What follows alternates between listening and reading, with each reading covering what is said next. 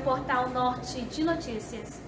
A Secretaria Municipal de Saúde, Censa, esclarece que o atraso na contratação de profissionais por parte do Ministério da Saúde para atuarem no enfrentamento do novo coronavírus em Manaus impossibilitou a lotação imediata de 31 especialistas oriundos de outros estados e enviados à capital, por meio da estratégia O Brasil Conta Comigo. Eles fazem parte do grupo de 267 profissionais de saúde que integram o referido programa, sendo a maioria residente em Manaus.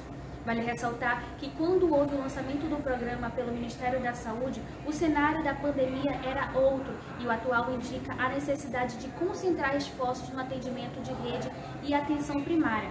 Em razão disso, esses profissionais estão sendo lotados de acordo com o perfil e experiência dentro daquilo que a rede necessita atualmente, priorizando o atendimento básico. Eu sou Aline Bindar, do portal Norte de Notícias.